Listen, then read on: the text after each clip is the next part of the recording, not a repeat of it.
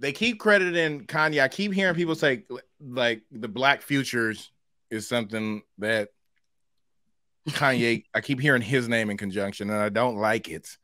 Yeah, there was Black Futures things happening way before Kanye said something about Black Futures.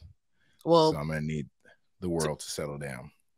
He just said that they should get rid of Black History Month and it should be Black Futures Month. Ah, that was his saying. Yeah, I mean, I think that no. I think that's different than why. actually celebrating Black futures or investing. Okay. I think it's it's different. Okay. I think that Black history means Black history. And the world does a better job at actually highlighting the highlights of Black history. Mm-hmm. Not staying stuck on the pain, the suffering. Mm-hmm.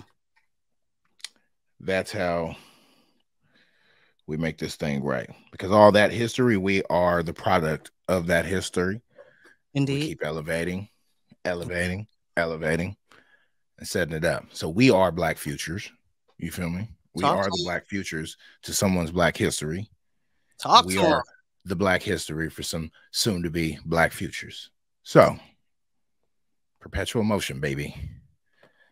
Love the black. Bet on it. Bet on black.